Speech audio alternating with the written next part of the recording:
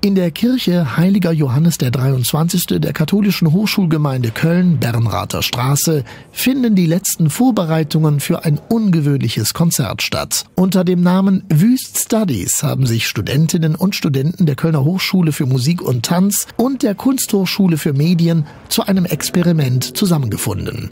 Die drei künstlerischen Leiterinnen und Leiter der Bereiche Musik, Tanz und Bildgestaltung haben sich dafür im Vorfeld mit dem Kirchenraum auseinandergesetzt gesetzt.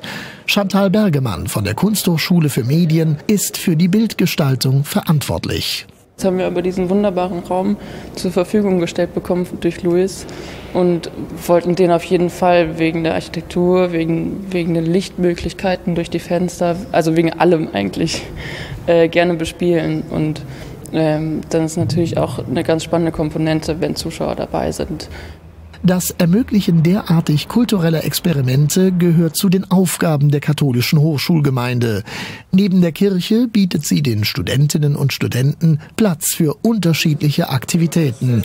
Das Café Leselampe ist ein Aufenthaltsraum zum Arbeiten und Lernen. Es wird Beratung angeboten bei psychischen, sozialen oder auch finanziellen Notlagen.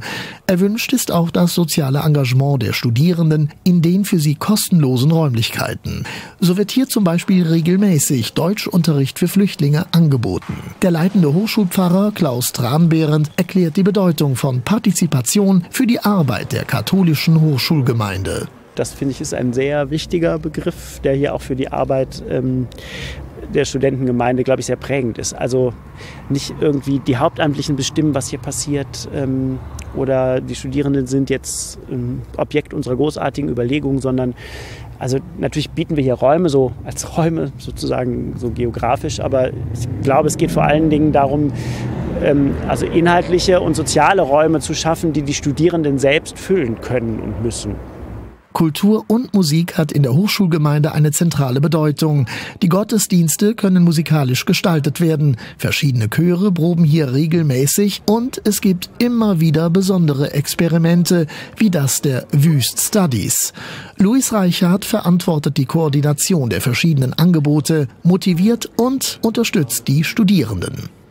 Der Projektleiter, der Jonas Vollmer, ist äh, hier auch schon in der katholischen Hochschulgemeinde aktiv gewesen und daher kennt er diesen Raum und hat ähm, es geschafft, die Leute dafür zu begeistern, äh, hier in dieser Kirche ein interdisziplinäres Projekt auf die Beine zu stellen, was ja, auf mich einfach sehr, sehr begeisternd wirkt und ich glaube auf die Besucher und Besucherinnen heute Abend auch.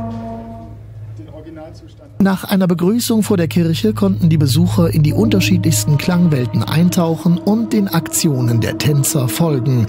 Die Zuschauer suchten sich die Perspektive aus, von der aus sie dem Geschehen folgen wollten. Die Blickwinkel der Kameraleute wurden auf verschiedene Monitore projiziert und so hatten alle Beteiligten die Möglichkeit, miteinander zu interagieren. Die Architektur der Kirche verbreitete dazu im wechselnden Licht eine ganz besondere Atmosphäre.